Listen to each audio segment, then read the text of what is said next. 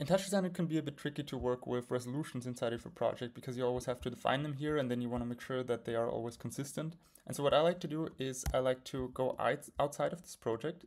If I go in here into this local tab uh, or base, and in here I want to create a new base and call that one modules. So I'm going to rename that into modules, go inside of here and create a new text dat and we can uh, rename this one into vars for variables. And then I want to go inside and give it a resolution X. So res X is 1920 and res Y is 1080.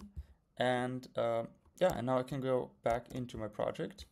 And uh, if I go in here and go into my noise, in the resolution I can type mod.vars for variables dot res x and mod.vars dot res y and this way I have these, I'm accessing these variables and I can define them globally. So this is just a super handy way that I like to use across all my projects to make sure that I always have the same resolution.